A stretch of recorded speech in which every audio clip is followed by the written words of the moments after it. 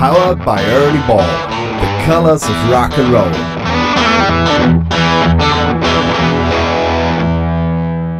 Heute im Gitar-Podcast ähm, der gute Nico und der Sebi von äh, der Band Massen Massendefekt. Jungs, vielen Dank, dass ihr die Zeit äh, am Start habt, dass ihr ähm, Bock habt, dass ihr mit mir über Gitarren nerden wollt und Gitarrensounds. Das Wichtigste ist natürlich halt eben die Gitarrensounds. Die Jungs haben ein neues Album raus, beziehungsweise zum Zeitpunkt, wo dieser Podcast ähm, veröffentlicht wird, ist das Album auch raus. Ähm, es heißt Zurück ins Licht und äh, korrigiert mich, wenn äh, ich da falsch liege. Es ist euer achtes Album, richtig? Richtig. Genau, das ist alles soweit richtig. Hallo, vielen Dank für die Einladung. ja, ja, genau, danke für die Einladung. Ja, danke, dass ihr euch Zeit genommen habt. Ähm, achtes Studioalbum. Ich habe mir das heute ein paar Mal ähm, ähm, auch auf der Arbeit äh, reinziehen können. Äh, als Redakteur kann man hin und wieder auch über Kopfhörer Musik hören. Und ähm, was mir sofort aufgefallen ist, ähm, das ist sehr riffig, das ist sehr beschwingt auch von, von der Mucke her, im, im Sinne von, ganz positiv im Sinne, ähm, es ist ein sehr positives Album, so wie ich das jetzt verstanden habe. Ähm, kann es daran liegen, ich habe heute mal so ein bisschen in euer, ähm, eure Info reingelesen, die Leute, die das hören, haben diese Info nicht. Ihr habt dieses Album unter anderen Umständen als alle anderen Alben zuvor aufgenommen. Ihr seid nämlich raus aus der Butze, raus aus der Stadt, ganz woanders hin. Erzählt doch mal. Ja, wir haben es nicht komplett, wir haben es nicht komplett woanders aufgenommen. Wir hatten einfach nur den Plan, den, den wir irgendwie schon seit 20 Jahren haben, dass wir mal raus müssen und einfach mal irgendwie ähm, frische Luft schnappen und mal ein bisschen freier an die Sachen rangehen. Jetzt nicht wie, wie sonst immer irgendwie nach, den, nach dem normalen Job nochmal für zwei, drei Stündchen mhm. treffen und mal da wieder was aufnehmen, da mal ein bisschen texten, da was machen. Sondern wir haben uns mal eine, eine Woche in Holland gegönnt. Wir haben uns ein Ferienhaus gemietet und haben da ganz frei äh, mal eine Woche lang aufgenommen und mal gucken, um einfach mal zu schauen, was passiert. Was kann man, was geht so alles? Wie können wir es machen? Ja, das haben wir halt mal gemacht. Okay, ähm, wie habt ihr euch denn darauf vorbereitet? Also äh, seid ihr schon mit komplett fertigem Material hin, also Songs, und habt dann den Feinschliff gemacht oder habt ihr auch Sachen da entstehen lassen? Sowohl als ähm, auch. Also fertige genau. Songs hatten wir ja nicht, oder? Nee, wir waren, hatten immer nur, äh, Nico hat ganz ah. viel im Vorfeld gemacht, ganz viel, ganz viel genau. gestückelt und wir sind halt mit diesen Demo-Stückeleien sind wir halt äh, darunter und äh, genau haben geguckt, wie kann man es ausarbeiten, was kann man geiler machen, was kann man daraus basteln, was kann man daraus machen. Gibt es schöne Textideen, die wir schreiben können. Und so haben wir Grüppchenbildung gemacht und haben einfach mal alles. ja, ja, also Grüppchenbildung in dem Sinne hier, ein paar haben ein bisschen am Text Positiv. gearbeitet. Ja, natürlich. Positive alles Grüppchen. Alles positiv. Nee, wir, genau. wir haben halt, wir haben letztes Jahr halt im Sommer angefangen und haben dann, äh, sind dann mit 15 äh, Ideen oder so 15 äh, Song-Layouts halt nach Holland gefahren und ähm, sagen wir mal so, also ein paar haben wir da an der Stelle, also in Holland auch totgeschrieben. So, die haben es dann auch ähm, gar nicht mehr bis nach Düsseldorf zurückgeschafft. ähm, dafür sind aber auch in Holland tatsächlich ähm, zum Beispiel hier ähm, letzte Worte. Das wird die dritte Single sein und wenn der Podcast dann rauskommt, wird sie auch draußen sein. Deswegen darf ich das sagen. Ähm, mhm. Ist halt komplett in Holland entstanden. So, das war so der letzte Tag. Ähm, man muss sich das vorstellen, das war halt äh, ungefähr vor einem Jahr ziemlich genau und es ja. war halt einfach ein holländischer Oktober so, ja, und äh, es hat halt geregnet und äh, war irgendwie sehr verhangen und in diesem Kontext ist halt äh, letzte Worte entstanden. So, und wenn man den Song so sich mal anhört, finde ich, hört man das auch so ein bisschen dadurch. ein bisschen, ein bisschen äh, sinnierender der Song, oder wie meinst du es? Ähm, Melan so, Melancholie. Melancholie. Melancholie, okay. Ja. okay. Er, hat, er hat eine gewisse Schwere, die ihm aber sehr gut tut, finde ich. Also rein thematisch und rein musikalisch ähm, wirkt es sehr komplett, sagen wir so. Ich finde sowieso eure Songs, wenn ich das so sagen darf, ähm, ich bin da relativ äh, unvoreingenommen an die Platte dran gegangen, weil ähm, ich in der Tat, glaube ich, nur das, äh, wenn überhaupt, das, das Vorgängeralbum ein bisschen noch kannte. Und ich finde, ihr schafft die Balance zwischen Melancholie oder zwischen nachdenklichen Texten und eben mal auch ein bisschen einfach so Party auf die Fresse sehr, sehr geil. Ähm, cool, danke. Lass mal, wie heißt der, wie ist der Song? Lass mal. Hm? Äh, nee, lass mal. Nee, lass mal. Der ist äh, so ein Beispiel für, für, dass er einerseits irgendwie ernst ist und andererseits wiederum irgendwie sehr, sehr, sehr augenzwinkernd ist. Das gefällt mir sehr gut. Also ich finde find geil, wenn man halt nicht nur komplett so die äh, super düstere Schwere halt, äh, gerade wenn man mhm. deutsche Sprache in, in, der Musik hat, transportiert irgendwie. Ja. Wenn man so ein bisschen Augenzwinkern machen kann. Ja, ähm, interessant. In Holland aufgenommen, am letzten Regentag nochmal eben einen Song eingedengelt. Ähm, meistens das ja dann so echt noch so coole, coole Situationen, die man mitnimmt. Wenn du sagst, andere Songs hattet ihr schon im Petto und die habt ihr dann mhm. tot produziert, das ist ja dann auch so eine Sache. Manchmal kann man sie aber einfach komplett überfrachten, die Songs. Und dann ist dann ja. trotzdem halt der letzte, den man halt im Vorbeigehen noch hat. Kann ja sehr geil sein. Cool. Ähm, ja, wie habt ihr, ähm, wie habt ihr euch im Studio aufgestellt, ähm, ähm, aufnahmetechnisch? Das ist immer interessant. Ähm, seid ihr eine Band, die live aufnimmt im Studio oder ähm, macht ihr so äh, erst Drums, dann Bass, dann Gitarre 1, Gitarre 2, dann Gesang? Live sind wir viel zu schlecht. Live einspielen sind wir viel zu schlecht für. Das geht alles, alles schön der Reihe nach. da brauchen wir schon Ordnung für. Ja, wirklich. Schlagzeug, Bass, Gitarren, Gesänge. Das ist okay, so dieses, Klass okay. dieses klassische Ding. Ja. Weil ich finde gerade, die Gitarren sind so auf den Punkt gezockt, also das ist ja beängstigend genau. Ja, die waren natürlich auch live. Ja. ja. nur live. Ja, nur die Gitarren. Nico und ich Sebi und ich uns mal kurz hingestellt, genau. nur live und alles First Take. Einen halben Nachmittag waren die Dinger drin, genau. Ja. Also ja, das ja, klingt auch so. Ich, ich habe auch nichts anderes gedacht. Ja, genau. ja. Ja. Ähm, Nee, die ähm, ganz klasse, klassische Schiene. Alles, alles wirklich der Reihe nach und äh, wirklich so versucht, so sauber wie möglich alles äh, äh, Song für Song fertig zu bekommen.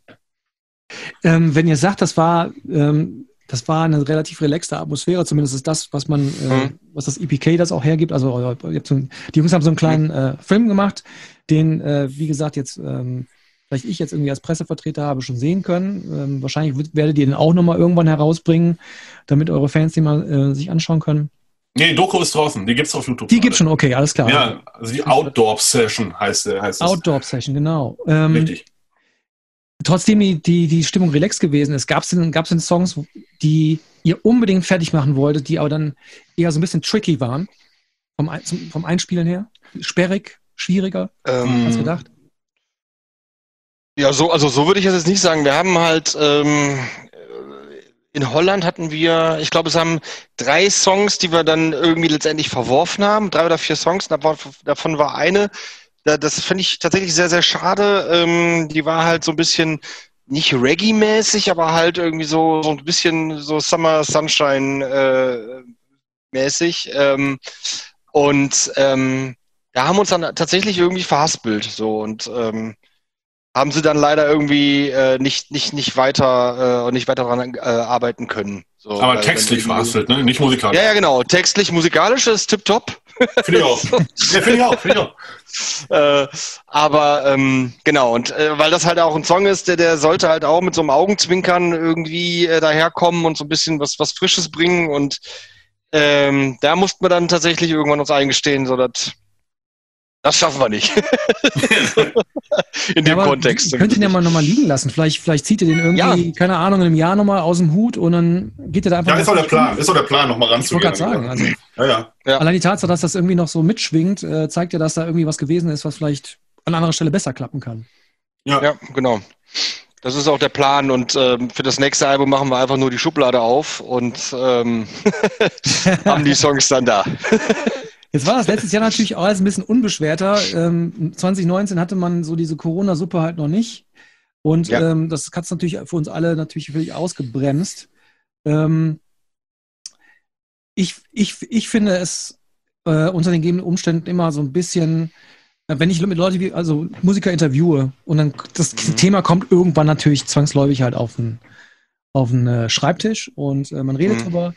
Ähm, wie, wie seht ihr das als Musiker, die jetzt ein Album rausbringen? Ich persönlich ähm, kann nur zum Beispiel beteuern, als Musikfan, als Rockfan, wie auch immer, ich kaufe gerade Musik wie ein Wahnsinniger. Für mich ist es wichtig, dass man Musik kauft.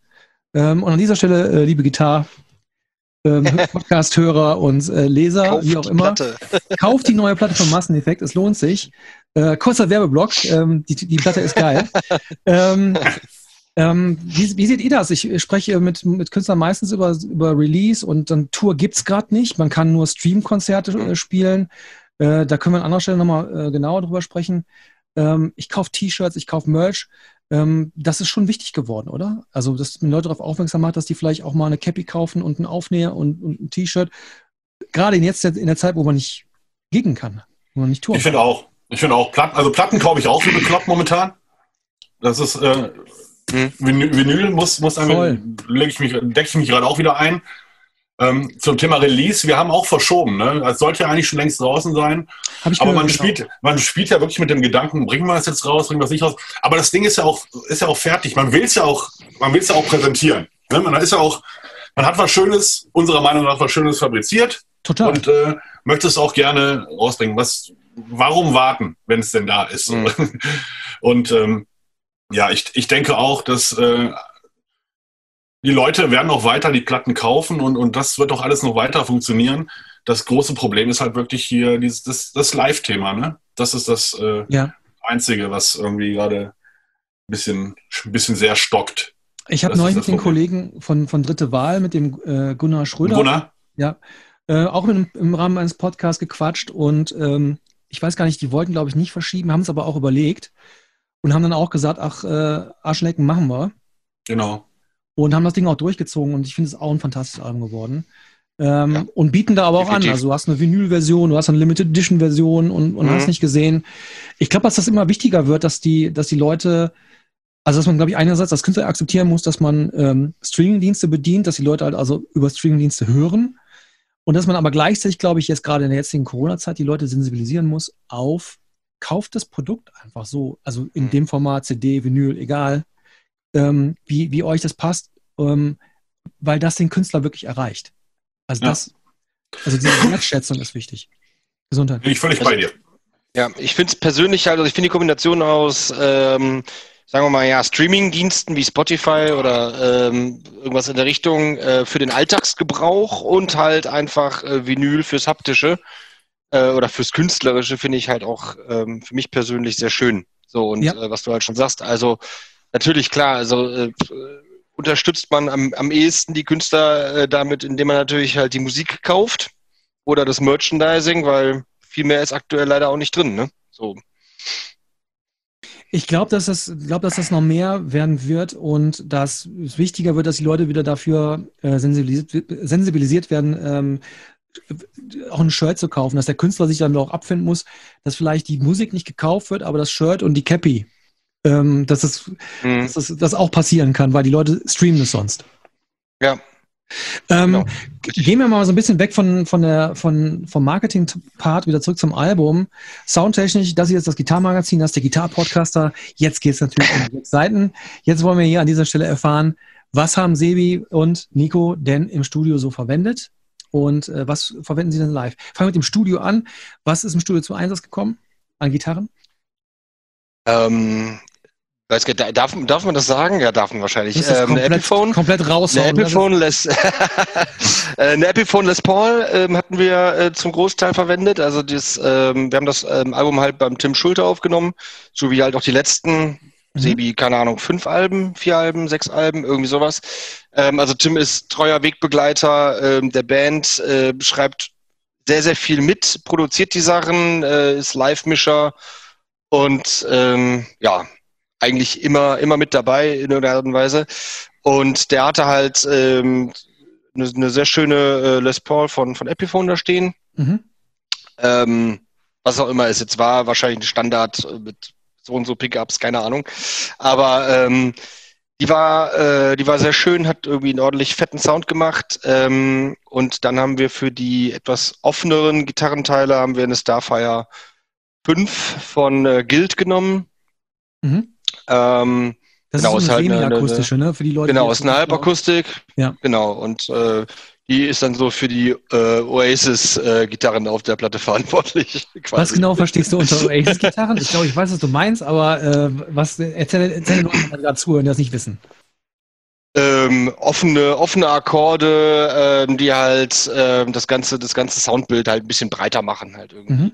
Du hast halt dann irgendwie so, bei ganz vielen Parts hast du halt einfach die, ähm, ja, die in, in, in die Fresse äh, Les Paul mit Power Chords und dann, wenn es halt ein bisschen in die Breite geht, halt einfach, weiß nicht, offene Akkorde noch drunter gemischt, ähm, damit das Ganze halt einfach Mehr Raum bisschen, bekommt. bisschen Volumen bekommt. Ja, genau. ja. Okay, wenn, Genau. wenn du sagst, die Les Paul, in die Fresse Les Paul, was, über was für ein Amp hast du die gefahren? Was, was für Effekte oder Pedale kamen womöglich zum Einsatz? Ähm, wir haben die eigentlich straight in den Rechner gespielt. Also wir hatten halt ein, ein ähm. Interface. Ja, leider. Aber effektiv. Ähm, Effektiv. wir haben am Interface, ähm, fragt mich bitte nicht, was es war, und dann halt mit Plugins gearbeitet. Und ähm, genau, das Einzige, was wir halt noch gemacht haben, ist, um halt so die organischen Sounds hinzubekommen, ist halt ein ähm, Marshall JCM 2000, meine ich, mit einer Mesa Boogie Box und dann halt äh, auf 11 raufgerissen und mit Gitarre davor gestellt und Ui. halt, äh, Ein 100 Watt Genau. oder was, was war es für ein Top da? 50 Watt, 100 Watt? ich meine, 100 hat der. Nee, 100. 100 Watt, ja. Krass, ihr habt das voll aufgerissen, okay. Äh, Wart aber nicht im Raum, hoffentlich, ne? Habt ihr dann vom, Äh, vom, äh, vom Board aus gespielt? Was hat ihr gesagt? Was, äh,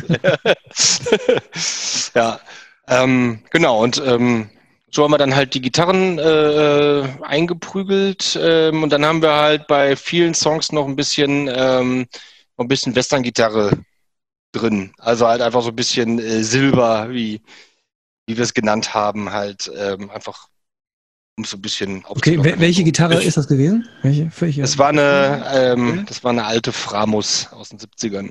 Oh, okay. Ich glaube, ich glaub, die Tele, die Tele ist auch mal für ein, zwei Sachen kurz zum Ein Einsatz gekommen. Ja. Ja, richtig.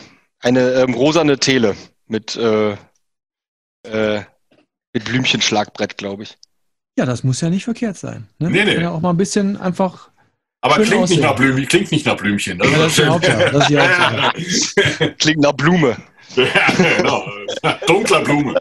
Wie, wie teilt ihr euch die Gitarrenparts auf? Wer, wer, spielt, wer spielt Rhythm? Wer spielt die, die Riffs und Begleitdinger? Und wer spielt diese coolen Melodien, Melodie-Parts in den Songs? Die coolen Melodien kann ich nicht, ich spiele nur Power-Akkorde, das reicht doch. Ja, das Wir machst du machen ja, Punk, wir machen ja, wir machen ja Punkrock. Also, also. Seht, seht ihr euch als äh, reine Punkrock-Band? Weil ich finde, ihr, ihr müsst eigentlich auch sehr viel Metal gehört haben. Ja, wir nennen wir es ja äh, Punk and Roll, was wir machen. Punk and Roll, okay. Ja, das, so, so nennen wir es, ja. Und äh, ja gut, wir sind ja auch äh, alles irgendwie ein bisschen, bisschen Kinder der 90er, also in den 90ern groß geworden. Da ist ja schon diese ganze Crossover-Metal-Geschichte. Da, das fließt dann schon ab und an ein bisschen mit rein. Ja, ich wollte gerade sagen, das, das hört man auch raus. Finde ich aber ganz cool. Findest du bei dritte Wahl auch? Ja, Ja, Ritual klingt ja richtig nach Metal. Also, Ja. Ja, ja, also Git- Gitarrensoundmäßig dritte Wahl, großartiges Brett, aber das, Voll. ist, das sind Metal-Gitarren. Voll, voll.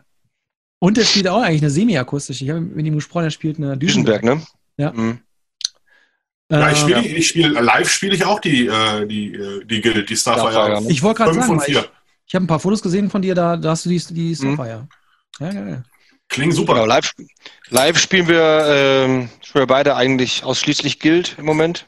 Und welche Verstärker? oder Ähm, macht ihr Camper oder ähm, Camper-Amps. Ein Campern, ja. Ja. Also ihr habt dann quasi Studio-Sounds in dem Camper und damit wird dann live gezockt? Ja, wir haben halt schon ein Live-Setup, äh, also äh, das ist jetzt nicht eins zu eins die Studio-Sounds, die wir auf der Platte haben, äh, sondern halt ein, ein ja, Live-Sounds, Aha. die wir uns da zusammen äh, zusammengeschraubt haben und ähm, genau. Aber damit kannst du halt natürlich halt einfach auch schön eine ähm, Semi-Akustik auf der Bühne spielen, ne? Oder dass dir alles um die Ohren fliegt. Das ist richtig, das ist natürlich ein Riesenvorteil. Ich finde aber, also ich habe auch eine, eine, eine 335 und ich habe da ja noch nie so ein Fieb-Konzert gehabt. Ich verstehe das Gemeckere bei den Leuten nicht. Also, Hm. du kannst Ja. dann natürlich keine Black Metal-Einstellung machen, so. Ähm, die Zerre ist nicht, ist halt endlich, die man dann verwenden kann, aber viel Zerre ist ja auch nicht immer hilfreich. Also ich habe vor der, vor der Guild-Geschichte habe ich live Telecaster gespielt. Fender Ja. Tele, ganz normal. Orange Amp. Und äh, das live ist halt wirklich, äh, Schlägst alles mit kaputt. oh, ohne, ohne Noise Gate ist das, ist das eher sehr, sehr schwierig. Ja, ja, ich wollte gerade sagen, es sei nur, dass in der Tele halt ein Hamburger drin anstatt ein Single Coil, dann, dann geht es einigermaßen. Ja. Ja, ähm, Effekte, habt ihr irgendwelche Effekte? Du hast gerade eben gesagt, ähm, Plugins. Äh, Nico, ähm, Ja. kamen die Effekte Also- über Plugins oder habt ihr, habt ihr ein Pedal dazu genommen? Lass mich überlegen. Ähm, wir haben im Endeffekt die Effekte jetzt auf der Platte, äh, haben wir größtenteils, ne, haben wir ausschließlich Plugins für genommen, ähm, weil es halt einfach viel einfacher zu spielen ist, so, ähm, weil es halt irgendwie auch Ja, wichtig klar. war, dass wir den Kram auf den Punkt spielen Und ähm, dann halt im Nachgang, wenn überhaupt mal Effekte drauf waren, weil mir fällt jetzt spontan, wir haben an zwei Stellen, glaube ich, ein Echo drin. Äh, und ich glaube, das war er doch schon. Ich weiß es nicht. Aber, aber es, ähm, kam, es kam aus dem Rechner. Ich meine, das ist auch gar keine Schande heutzutage. Nö, es kommt aus dem Rechner, ja. Es ist von der Qualität her so gut, dass ähm, und, Ergebnis zählt. Genau, und live ist es halt so, ähm, also wir sind da, also ich bin da sehr, sehr schmal unterwegs. Also ich habe halt ein Camper Remote Board. Ähm, da gibt es dann fünf Sounds drauf. So, ähm, hier und da schalte ich mal irgendwie die nächste Bank. Da habe ich auch nochmal zwei Sounds. Äh, dann habe ich ein Expression Pedal äh, hier von ähm, Mission Engineering heißen sie, glaube ich, Mission Engineer. Mhm. So, äh, da habe ich ein bisschen Wah drauf liegen, beziehungsweise bei dem einen oder anderen Sound mal ähm, habe ich, äh, ja genau, ähm, ein Echo, ja. äh, endlos Echo oder irgendwie sowas, wo, wo ich auch schon jedes Mal irgendwie böse Blicke vom Rest der Band ernte, wenn ich das mal irgendwo mit einbringe. Äh, ach genau, ein Octava, Octava habe ich noch drin, aber das sind wirklich nur Spielereien. Also du bist derjenige der, der Band, so, das können wir mal festhalten, der fürs Spielzeug genau. zuständig ist. Ja, ja. für die Farben. für die Farben genau. im Punkrock. Genau. Ja, geil. Genau. Ja, Aber das ist halt, sagen wir mal so, das ist jetzt in dieser, in der Musik brauchst du das eigentlich nicht. So, da brauchst du einen, einen kompakten, verzerrten Sound, vielleicht noch einen Solo-Sound und mhm. irgendwas, was einigermaßen als Clean-Sound durchgeht. Und dann bist du da eigentlich auch fertig. Also, also ihr seid keine Vintage-Nostalgiker. Ja, ihr seid jetzt keine das heißt, ich spiele jetzt meine 68er Tele und meine äh, 59er genau. Les Paul ähm, und meine Martin nee. HD28 von 1938. Das macht ihr jetzt nicht. Nein, nicht, nicht in dieser Band. Nicht in dieser Band, sondern in der anderen, in der, in der Blueskapelle mit Opa. Nee, also ich habe schon, äh, ich habe auch meine, meine Teles und äh, ich habe auch meinen äh, Fender Hot Rod noch im Keller stehen und ähm, also ich will jetzt nicht sagen, ich könnte, wenn ich wollte, aber ich äh, könnte, wenn ich wollte. Könntest also ernst machen, soundtechnisch, aber machst du nicht, weil es praktischer mit dem Camper. Ja. Ist ja auch in Ordnung. Ähm, bleiben wir mal so ein bisschen bei den Einflüssen, das fand ich ganz interessant. Ähm, erzählt doch mal den Leuten, ähm, wo ihr eigentlich musikalisch herkommt. Wenn, wenn Sebi hat eben äh, gesagt, Kinder der 90er, ich bin auch ein Kind der 90er. Ich bin aufgewachsen mit zum Beispiel äh, Pantera, Alice in Chains, äh, ja. Soundgarden, ähm, alles bunt durch die Hecke. Also mit Grunge wie mit Metal bin ich quasi sehr aufgewachsen. Und Rotzrock und so. Helicopters, Backyard Babies. Da sind wir genau, da sind wir genau gleich. Da sind wir genau gleich. Da kam noch ein bisschen der, der Hip-Hop vor, im Vorfeld dazu, so BC Boys Richtung und sowas. Das kam Tierisch, ja. dazu. Ja, so diese, diese Sachen und dann die ganze Crossover-Schiene äh, mitgenommen. Clawfinger? Mit Clawfinger, ja. Mit denen haben wir letztes noch gespielt übrigens, das stimmt. Mhm. Die gibt's sogar noch. ja, die gibt's noch. Die habe ich letztes Jahr auf dem äh, Sound. Und es war, es war ein richtig, richtiges Brett, das die da gefahren sind. Ja. Voll. Mhm. Und äh, ich schwöre dir, da sind auch ein paar Camper am Start. ja, das ist ja, ich meine, live ist das natürlich halt einfach eine dankbare Situation mit dem Camper. Also das, ja, ja, ist richtig. Ja. Das ist, nee, das, das ist so, ja. Ja, das ist so, das ist so die Richtung irgendwie. Dann kam ja klar, mit Nirvana kam ja diese Grunge-Welle, mit Pearl Jam und so die ganzen Soundgarden, wie du schon sagtest, irgendwie. Ja, Pantera, Slayer, die ganzen Metal-Geschichten, die dann äh, in den Tag gelegt wurden. Ja. Was, was, und dann irgendwann kam ja Rage Against the Machine und hat sich ja eh alles geändert. Genau, genau. Viele, viele machen das ja eher an Nirvana fest, aber ich gebe dir ja recht, äh, Rage Against the Machine sind mindestens genauso wichtig gewesen. Speziell diese Crossover-Nummer. Ähm, wo, wo, was hört ihr heute? Was, was, was kickt euch heute? Was, was begeistert euch heute privat, wenn ihr Musik hört? Also ich bin da echt total breit gefächert bei der ganzen Geschichte. Mein, mein Vater macht Musik, der, mein Vater kommt aus der Blues-Richtung, ist auch mhm. Schlagzeuger und spielt in auch so einer Stones Coverband und, und, und so die Sachen. Cool. Ähm, aber ich bin, ich, ich mag immer noch gerne diese ganzen California Punkrock-Geschichten. Äh, deutsche Sachen finde ich, gibt es viele gute Sachen. Also ich bin da wirklich offen. Ich, ich bin halt nicht so der, der, der, der Charts-Hörer. Äh, dass ich kann mit gewissen Chartsachen nicht so viel anfangen. Schade, ich wollte eigentlich jetzt mal so einen Raum aufmachen für Helene Fischer und Andrea Berg, aber jetzt, das kann ich ja wohl knicken jetzt. Ne? Das, ist ja, das, ist ja die Schlager, das ist ja die Schlagerrichtung. Da sind wir ja schon wieder ein ganz anderes Thema. Da bin ich ja schon wieder bei dir. da, da bin ich ja schon wieder da. Ja, sehr gut. Die, weil die sind nämlich immer in den Charts. ja. Ich höre eigentlich auch ähm, durch, die, durch die Bank. Also ich, ich muss noch äh, zu dem, was ihr gerade alles nanntet, äh, in den 90ern äh, noch zwei, drei sehr wichtige Einflüsse, nämlich No okay. und Bad Religion, äh, hinzufügen. Sehr äh, gut. weil das Gibt's waren so, ähm, das waren die, ja, und das ist auch fantastisch, dass die noch gibt, ähm, weil das waren nämlich die, die bei mir, ich bin, bin ein bisschen, äh, ich hing halt im, im Melodic Hard Rock äh, irgendwo fest vorher und äh, die haben mich halt da irgendwie rausgekauft quasi und ähm, haben dann 10, 15 Jahre lang tatsächlich äh, mein, mein musikalisches, äh, meinen musikalischen Horizont irgendwie befüllt. Ähm, und ich persönlich höre halt auch durch die Bank äh, heute alles. Also das kann irgendwie äh, ein geiler Metal-Song sein, das kann aber auch genauso hier äh, The Weeknd sein, was ich auch großartig finde in der heutigen Zeit. So, ähm, Okay. Was ich allerdings, wo ich mich tatsächlich sehr, sehr schwer tue, ich habe zwei Kinder, 10 und 12, und die hören halt einfach das, was sich da heute Hip-Hop nennt, glaube ich, Hm. rauf und runter. Ähm, da ähm, bin ich dann Schwierig. raus. Also das finde ich dann auch tatsächlich, ähm, hat mit Musik nicht mehr wirklich viel zu tun. Ich habe damals, ich habe damals, in, als waren wir in Cuxhaven, war ich mit Mike und unserem Bassisten in Cuxhaven, mein Onkel hatte da ein Hotel. Und da habe ich auch zwei meiner wichtigsten Platten gekauft. Das war auch in den 90ern. Und zwar gab es da so einen kleinen Plattenladen in Cuxhaven. Da habe ich äh, auch North X, weil du es gerade sagtest, gekauft. Die White Trash Tweeps and the Beam. Das war meine erste North X-Platte. Großartig. Und meine immer noch mit Lieblingsband äh, Life of Moore. The River Runs Red. Ah, The River Runs Platten- Red, großartige Scheibe. Die Ganz beiden wichtige Scheibe aus Platten. den 90ern. Ja, ja, für mich äh, eine der wichtigsten Platten überhaupt. Ja. Ja, geil. Wobei wir aber auch sagen müssen, dass, Entschuldigung, aber dass, dass, dass Sebi und ich uns natürlich auch irgendwie immer sehr freuen, wenn im, im, im Tourbus äh, Gary Moore läuft. Ja, so, Ach. ähm, Okay, krass. ja, ähm, Wir freuen uns aber auch über heißt- Roland Kaiser.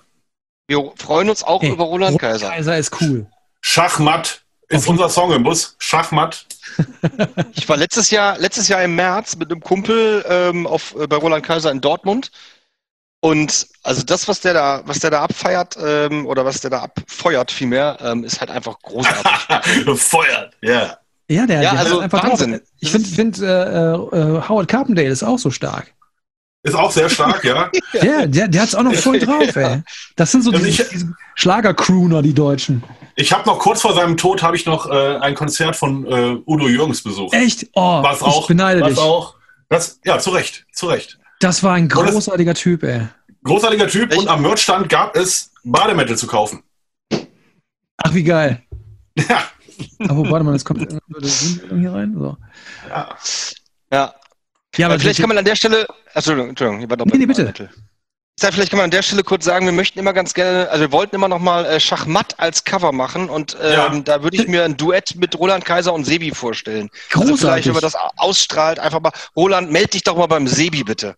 Ja bitte. Sebi. Und wenn, er- wenn er Nico macht, meint, sagt, wir wollten das gerne machen, meint er nur sich und mich. Den Rest der Band meint er eigentlich nicht. Der Rest der Band hat keinen Bock drauf, oder was? Ich finde das großartig.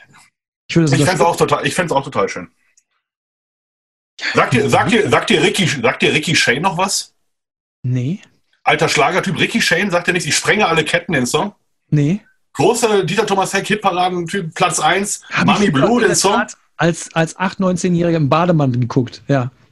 Mami, Mami Blue, den Song sagt dir auch noch nichts. Hm, Nee, Wir haben nämlich damals einen Song mit Ricky Shane aufgenommen. muss wir das mal aufschreiben. Ja, Google. Es wurde nie veröffentlicht, durfte nicht veröffentlicht werden. Warum? Ricky Shane wollte das dann nicht mehr, weil wir uns verstritten haben. Was? Okay. ja, das ist wirklich so. Hat er keinen Bock auf Punkrock oder was? Also soll ich die Geschichte jetzt, ich, ich glaube, ich glaub, er wohnt auch gar nicht mehr in Deutschland, weiß ich gar nicht. Also Ricky Shane, großer Schlagerstar, damals, äh, damals gewesen, hat wirklich frühen 80ern? oder? 70er, 60er, 70er, Okay, okay. Mami Blue und Ich sprenge alle Ketten, seine beiden großen Hits. okay. Und wir haben damals äh, Ricky Shane kennengelernt auf der Fortuna Düsseldorf, unser Verein, Eröffnungsfeier. Und, ähm, oder nee, haben wir den vorher kennen? Stimmt gar nicht. Wir haben ihn, wir haben ihn in Düsseldorf auf der Kirmes, äh, auf der Rheinkirmes kennengelernt. Und äh, unser damaliger Sänger Ole hat ihn einfach angesprochen, mal Ricky, guten Tag, ich bin der Ole, hier im Mass Effect. Sollen wir nicht mal einen Song machen? Da hat Ricky gesagt, ja, cool, machen wir. Und dann kam Ricky damals in unseren Proberaum, das weiß ich noch.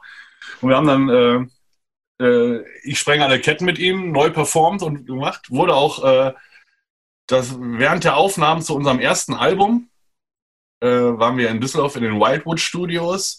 Und dann kam Ricky auch vorbei, da haben wir den Song aufgenommen. RTL kam auf einmal vorbei, hat das ganze Ding gefilmt. Ich glaube, wir waren nicht einmal zu sehen, nur Ricky Shane war zu sehen. und ähm, ja, dann haben wir diese Nummer aufgenommen und äh, alles war gut. Wir haben überlegt, wie geht's denn weiter, was können wir denn machen? Ähm, dann hatten wir unser zweites oder drittes Konzert damals, oder wir hatten, nee, stimmt, ein bisschen mehr, mehr war es dann schon. Wir hatten auf jeden Fall im damaligen Pappkarton bei uns in Meerbusch, das war ein Jugendzentrum, da hatten wir ein Konzert, einen Auftritt und äh, es war geplant, Ricky kommt auch vorbei. Ricky kam dann irgendwie vorbei oder wollte vorbeikommen, die Nummer mitsingen und dann hieß er, ja, ich bringe noch meinen Kumpel äh, Berti mit. Berti. Berti. Berti Wollersheim, kennt ihr wahrscheinlich, großer Puffbesitzer aus Ich wollte sagen, das war Zuhälter genau. gewesen oder so. Und ähm, hat es vorher angekündigt und äh, bringt noch ein paar, paar Mädels mit, sagt er. Ich so, ey, Ricky, das geht nicht. Wir, das ist ein Jugendzentrum, da sind jugendliche Kinder, du kannst nicht mit Bertie Wollersheim und ein paar Nutten da antanzen. Das ist oh nein. Jetzt, wo es spannend wird, ist der Sebi kurz weg. Jetzt ist er weg. vor diesem Jugendzentrum eine Limousine, so eine Stretch-Limo, äh, fuhr vor. Und äh, ja, Ricky Shane, Bertie Wollersheim und glaube ich sechs Nutten sind ausgestiegen und kamen in dieses Jugendzentrum. Meine Mutter war da, es war ja eines unserer ersten Konzerte, das war an, Anfang 2000 war das irgendwann. Ja. Und äh, ja, dann gab es dann irgendwie Zoff, wir haben die Nummer nicht zusammen ge gesungen und dann haben wir uns ein bisschen mit Ricky Shane verstritten. Und dann wollte er nicht mehr, dass die Nummer irgendwie gezeigt wird oder was weiß ich. Das ist eine Ja. Schande. Genau, Ja, das immerhin. ist das Ganze in dem Podcast. Ja, aber immerhin eine geile Story für. Podcast. Es ist ja nicht gelogen. Es ist ja einfach. Äh, nee, alles gut. Ja. Das ist auch eine schöne, schöne Geschichte zu erzählen. Aber die Nummer war schön. Ich mag auch den Song Ich sprenge alle Ketten und die wir auf, von uns aufgenommene Version, das war auch toll. Habt ihr die noch? Ich habe die noch auf CD, ja. Ja. Glaube ich noch. Ein- Eine gebrannte CD gibt es, glaube ich, noch. Der fliegt ja irgendwo rum, ja. Musst du mal raussuchen. Ja. Vielleicht, vielleicht ist ja der Ärger, irgendwie hat sich der gelegt und man kann es wieder angehen. Ich glaube, der hatte auch lange Zeit in, Flinger, in, in Flingern ein Bütchen, ne? Ja, ja, richtig. Das stimmt. Ja, ja. Soll vielleicht mal Hallo sagen. Den hat er nicht mehr. Er ist ja nicht mehr. Er ist, so, okay. Ich hätte dann noch einen Song übrig. Ja. Wenn er jetzt ein Bütchen gehabt hat, dann ist er kein Riesenschlagerstar mehr, ne? Dann war er ein Riesenschlagerstar. er war ein Riesenschlager, äh. Ähm, Ja, Geld Ja, halt für, für, für Koks, Nutten und Alkohol ausgegeben, den Rest hat er verprasst, ne? ja, ach so, da war noch was übrig. Was, ähm, ähm, ihr seid ja jetzt auch keine kompletten, also ihr seid, ihr verdient euer Geld nicht komplett mit der Musik. Ähm, ihr habt auch Jobs nebenbei noch. Richtig? Ja. Ja. Ähm, was ja auch völlig in Ordnung ist und keine Schande ist und auch ähm, durchaus in diesen Zeiten für eine nicht unwesentliche Sicherheit sorgt. Jetzt gerade, Richtig. momentan sowieso. Ja, ich wollte gerade sagen. ähm, was macht denn äh, Sänger und Gitarrist von Massendefekt äh, eigentlich sonst, wenn du, also, was für, einen- was für einen Job hast du? Also, ich, ähm, ich arbeite als äh, Installateur im, von der Firma aus im Altenheim. Ah, okay. Ah, cool. Als, also quasi, quasi Techniker in so einem Heim, sowas mache ich dann halt. okay. Dann habe ich noch ein kleines eigenes Klamottenlabel gegründet vor zwei Jahren. Das habe ich noch. Und ansonsten gibt es die Musik. Ja, geil, cool. Ja, ich habe einen Altenheim CV gemacht. Ich auch. Und äh, ja, cool. Nicht Und mehr was- weggekommen. Da. Wieso nicht wegkommen? Machst Musik, ey. Ist auch geil. Sag ich mal, das. das Nee, immer noch. Ich, ich meine, in diesem Alter, wo ich jetzt arbeite, habe ich auch damals mein CV gemacht. Ach so. Ja, genau. Das ist das ist darum ja nicht geil. weggekommen. Ja, ja. Das ist ja witzig. Wo, wo, ich, wo ist das Altenheim, wenn ich fragen darf? In Düsseldorf-Lörrick. Ah, okay. Ja, ich, der Witz ist, ich habe CV sogar gar nicht unweit von Düsseldorf gemacht, nämlich in Köln-Worringen. Mhm. Ähm, das ist natürlich auch schon Ewigkeiten her, aber egal. Nee. ähm, ja, lass uns noch ein bisschen über die Musik reden. Ähm, lass uns noch ein bisschen über Musik philosophieren. Was glaubt ihr denn? Ähm, ich habe das jetzt bei, bei Dritte Wahl gesehen, die haben relativ versucht, relativ diese Live-Konzertnummer gerade trotzdem durchzuziehen. Ähm, wie sieht das bei euch aus? Wird man euch irgendwie auf Abstandskonzerten sehen können? Ja, wir haben zwei Also Sachen gemacht, ne? Genau, genau. Wir haben im Ja. Juli haben wir in Oberhausen ein Autokino-Konzert gespielt ähm, und wir haben im August ähm, vom Open Flair so eine, so eine Corona-Edition mitgespielt, zusammen mit äh, Bobbin B, glaube ich, waren das an dem Abend und Mhm. freitags haben noch Sonderschule gespielt und ähm, Monsters of Liedermachen. Monsters of Liedermaching, genau, und das war nicht, das war sehr, sehr schön. Da haben die halt ähm, 250 oder 300 Leute an, an in, in Liegestühlen, Biertischen ja, genau. und, und Strandkörben irgendwie da äh, auf der Wiese gestellt, irgendwie ein bisschen Lampignons drumrum und das war halt von der Stimmung her sehr, sehr schön. So, fast, also fast wie sonst auch. Ähm, genau, das haben wir gemacht. Ähm, und ja, jetzt gucken wir mal, wie sich die Lage so entwickelt, würde ich sagen. Also aktuell werden für früher 2021 halt unsere Tour gebucht. So, ähm, sag mal, im besten Fall kann die stattfinden. Mhm. Punkt, Punkt, Punkt. Wird die dann, wird die dann so äh, abstandskonzertmäßig stattfinden, also so vor 100 Leuten und, und, und äh, bereitet man das jetzt schon so vor oder, oder spekuliert ihr darauf, dass irgendwie die, die, die Hallen in voller normalen Größe halt äh, Kapazität verfügbar sein werden? Was ja eh also, ist. Ja, also gebucht ist es für eine normale Clubshow. So, okay. das ist eigentlich der Plan. Wenn es, wenn es stattfinden soll, soll es auch bitte so stattfinden. Also ich kann diese, ja. also ich persönlich kann diese Abstandsgeschichte da nicht mehr, nicht mehr ertragen gerade. Das ist ja echt äh, furchtbar. Also es tut mir für alle leid, für alle Kollegen leid und es tut mir auch für uns leid, weil alle wollen so raus, alle wollen so spielen. Und ähm, ja, es ist halt gerade nicht, nicht so einfach, das, dieses mhm. Thema. Ja, ja, klar. Ja, also man, kann, man, man kann nur hoffen, dass, es, äh, dass man ab Frühjahr wieder vernünftige Touren spielen kann. Unwahrscheinlich ist es dennoch ein bisschen, aber ja, Hoffnung stirbt zuletzt, ne? Wie ist das? Okay. Mhm.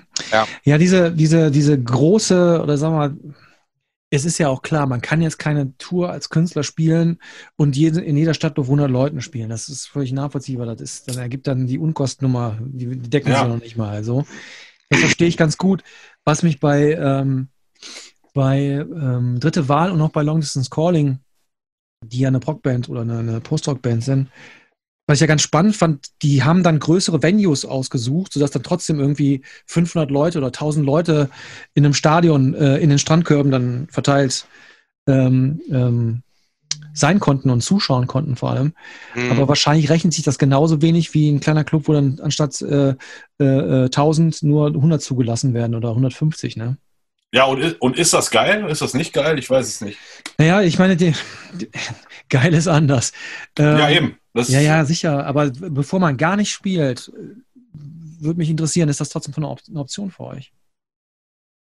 Ja, ich denke schon. Müsste man halt dann einfach. Ähm, ich finde, was halt mit Corona äh, was das Schwierige an Corona ist, dass es halt einfach nicht planbar ist. So, du musst halt die Situation jedes, also ständig neu bewerten. Mhm. Und ich sag mal, wenn wir am 31. oder wenn wir jetzt irgendwann im, im Herbst wenn es die Ansage gibt, okay, äh, es werden bis 30.06. weiterhin keine Großveranstaltungen gemacht werden, so dann wird man sich auch nochmal hinsetzen müssen und halt einfach mal überlegen müssen, wie man halt mit der Situation umgeht. So und ja, ich würde das jetzt äh, nicht nicht äh, äh, per se ausschließen, so, aber das muss man dann halt im Kollektiv entscheiden, weil natürlich auch alle mit dranhängen. Ne? Also halt dann einfach mal. Ja, ich meine, das ist, das ist, das gucken. ist eine, ganz große, ganz große Scheiße gerade für die ganze komplette Live-Branche. Ich habe gestern, glaube ich, kam über sogar irgendwie heute oder in der Tagesschau war ein Bericht ähm, einer hm. Deutsch, von Deutschlands größten, ähm, wie soll ich sagen, Live-Supplier, also der, der, der hm. Bühnenbauten stellt. auch gesehen. Satisfy. Ja. Ähm, hm. Die haben gesagt, wir sind auf Kurzarbeit gerade und äh, ja. das ist ja nun auch keine Schande. Ähm, da sind einfach keine Aufträge gerade. Dann fährt die Kamera da so an, an Peter Maffei, Riggs ja. vorbei und so weiter. Grönemeyer. Mhm. Grönemeyer. Und du denkst dir so, boah, das darf ich wahr sein. Ja klar, es steht einfach gerade alles still.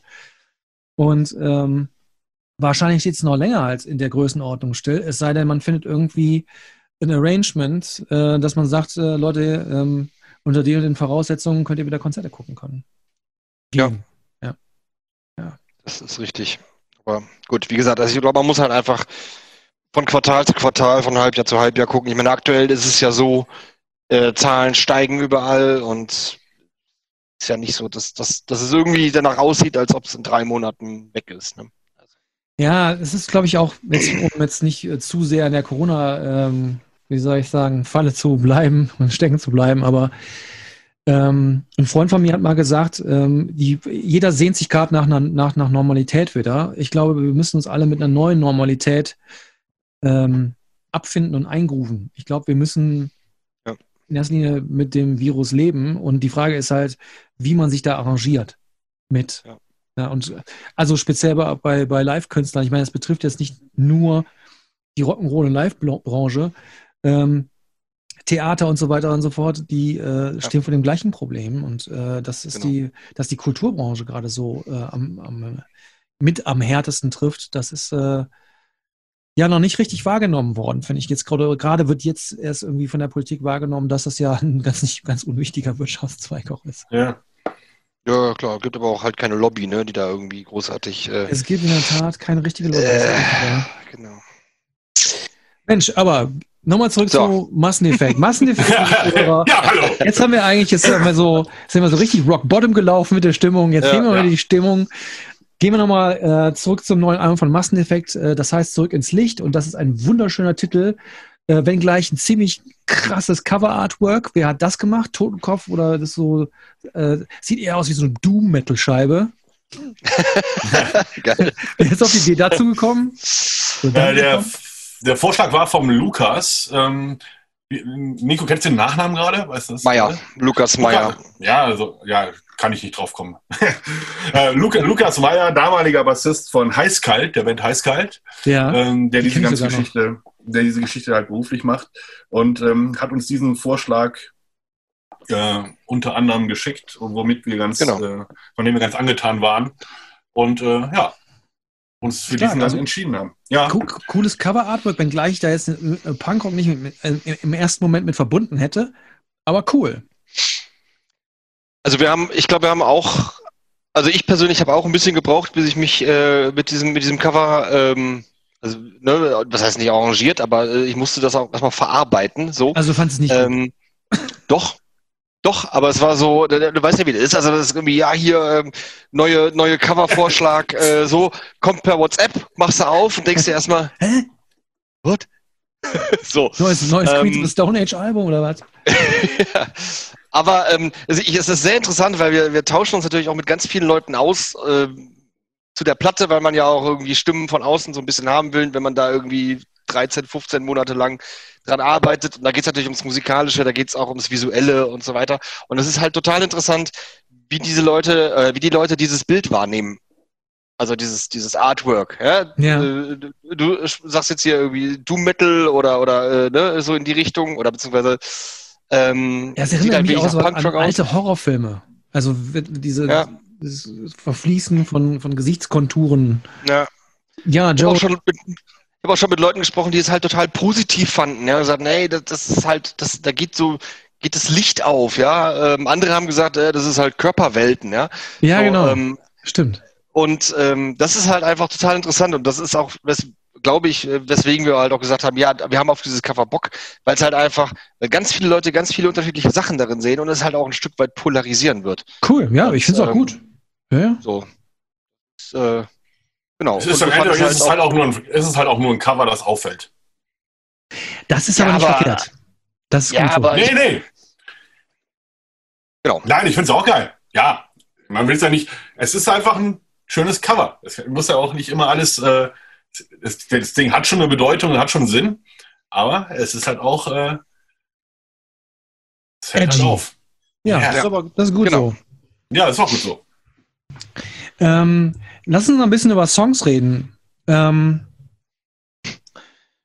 ich finde es immer ganz spannend zu fragen, ähm, kann ich jetzt euch einfach mal äh, jeden für sich fragen. Also, was ist, ist denn, ähm, Sebi, für dich ähm, der persönlich wichtigste Song in Sachen Aussage und was ist der Song, der am meisten Bock macht ähm, zu spielen? Ach, eigene Songs. Ja, genau, von euren eigenen. Ach so, ach so, ach so, okay. Vom neuen Album, vom neuen Masseneffekt-Album. Okay. Zurück ins Licht. Zurück ins Licht. mit, dem, mit, dem, mit, dem, super schönen Cover. Das, das Album mit, meinst mit diesem geilen ja, Cover ja. und wir reden nicht von Rage Against the Machine. Nein. ähm, Spaß, ja. Ähm, was, ähm, was am meisten Spaß macht. Wir haben ja noch, wir, wir gehen ja gerade erst in den Proberaum und fangen an, die Dinger äh, zu, zu, spielen. Wir haben ja, ja, gar nicht so, wir sind ja gar nicht so. Und, aber es gibt ja vielleicht Sachen, so eine Tendenz, wo du sagst, so, der könnte live richtig zünden. Wir, wir haben jetzt Autopiloten und Totes Land, die beiden Nummern äh, mhm. machen wirklich Spaß zu spielen. Das ist schon mal, äh, steht schon mal fest. Das, äh, die haben wir schon ein paar Mal durchge, durchgehämmert. Das ist schon ganz, äh, ganz gut. Und aussagekräftig finde ich halt, ähm, gefällt mir am besten auch, ähm, Schiffbruch gefällt mir sehr gut mhm. von der Message her, weil es dieses typische, auch wenn es ein bisschen aus, ausgenudelt ist, äh, so dieses, aber man kann es halt nicht oft genug sagen, dieses Thema Rechts äh, ja. und äh, Nazitum, ja. das ist einfach. Äh, es wird ja jeden Tag aktueller. Ja, ja, man, ja, also. ja man, man wird auch zugeschissen von, so, von, von dieser Message. Ne? Das muss man ja auch noch dazu sagen irgendwie. Ähm, aber, ja, aber Farbe bekennen ist ja ist wichtig, ist auch richtig. Ist wichtig. Ja. Find, find, machen wir auch damit, das, das ist schon von der Message her sehr wichtig. Und äh, ja, ich glaube, dieser, dieser Song ist es dann auf der Platte. Okay, okay. Ja. Und Nico, für dich? Ähm, also ich habe hab da so ein paar, paar Favoriten. Also ich finde, ähm, Autopiloten ist ein, ist ein sehr äh, eingängiger und auch ähm, von der Message her äh, guter, guter Song und ähm, der macht auch tatsächlich Spaß zu spielen. Ähm, ich habe jetzt, also wir haben Schiffbruch so in der Konstellation noch gar nicht gespielt im Proberaum, muss man ehrlicherweise sagen, aber wir haben den beim Videodreh gespielt. Das Video kommt jetzt, äh, kommt jetzt in vier Tagen raus und äh, das hat mega Spaß gemacht. Also das ist wirklich, äh, weil, weil der Song ähm, Habt ihr beim Video live halt gespielt oder einfach nur ohne Verstärker also den Song gezockt? Ja, ja, genau, letzteres. Ja, aber, wir, hatten, wir, hatten, ähm, wir hatten es auf dem Ohr, ne? wir hatten Indies dabei. Ja. Ah, okay, du, also doch Du live, spielst den Song, ja, doch, ja, doch schon, weil du spielst den Song ja schon. Ja. Weil du willst ja auch nicht im ähm, Video was anderes greifen als. Äh, ja, okay, aber interessant. Ne? Okay, cool. Ja. ja. Und ähm, der, der Song ist halt in der Strophe, ist der sehr, sehr breit und sehr schwimmend irgendwie so. Und dann geht der Refrain, fügt sich das zusammen und dann hast du halt einen sehr edgy Riff danach, so, äh, was, was so sehr, sehr, sehr Green Day-mäßig ist. Ähm, mhm. Das hat einfach mega Spaß gemacht zu spielen. Ich bin total gespannt darauf, wie sich das, wie sich das ähm, im Proberaum verhält. In, in, echt anhört. Ja, und dann ja. bitte auch live. Ja, auf jeden Fall, ja. klar. Ich drücke gleich. Äh, ähm, finde ich, weil du eben schon angesprochen hast, äh, nee, lass mal, finde ich irgendwie von der von der Message her, ähm, finde ich, äh, ist sehr schön, sehr schön gelungen. So die Bilder, die man halt äh, da transportiert. Ja.